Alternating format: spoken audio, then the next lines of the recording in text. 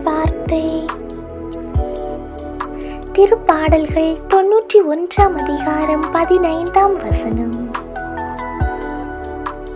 அவர்கள் என்னை நோக்கி மன்றாடும் போது அவர்களுக்கு பதில் அளிப்பேன்.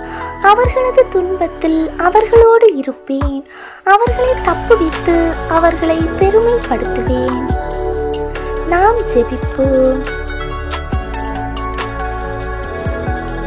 மன்றாட்டுக்கு பதில் தருகின்ற எங்கள் அன்பு இறைவா எங்கள் மன்றாட்டுகள் அனைத்திற்கும் நீர் பதில் தருவதற்காக உமக்கு நன்றி கூறுகின்றோம். உறவுகளை இழந்து தவிக்கின்ற மக்கள் அனைவருக்கும் ஆறுதலாக நீர் கூட இருந்தருளும். பிரச்சனைகளால் பிரிந்து சென்று குடும்ப உறவுகள் மீண்டும் ஒன்றிணைந்து மகிழ்ச்சியாய் வாழ கிருபை செய்தருளும். ஆமேன்.